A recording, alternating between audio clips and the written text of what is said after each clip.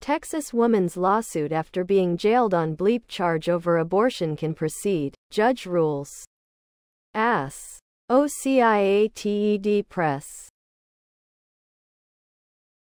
A Texas woman who was jailed and charged with bleep after self-managing an abortion in 2022 can move forward with her lawsuit against the local sheriff and prosecutors over the case that drew national outrage before the charges were quickly dropped, a federal judge ruled Wednesday.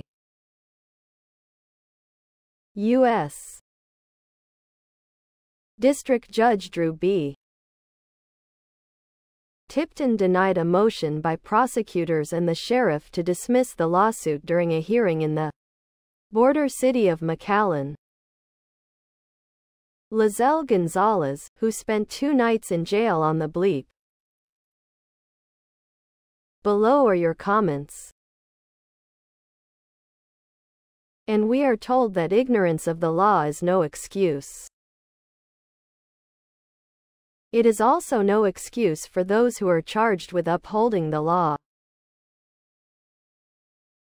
Texas District Attorney Gocha Ramirez has previously told the Associated Press that he made a mistake in bringing charges.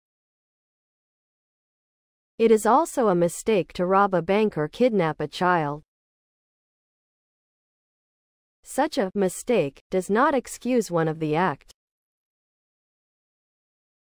Of course negligence doesn't explain the oversight. This was just harassment, and we can count on seeing a lot more of it if the Republicans win. I've always heard ignorance of the law is no excuse. So in this case making a mistake is no excuse. I am normally opposed to these type of lawsuits but hope she wins. Conservatives are finding out that women know how to fight back.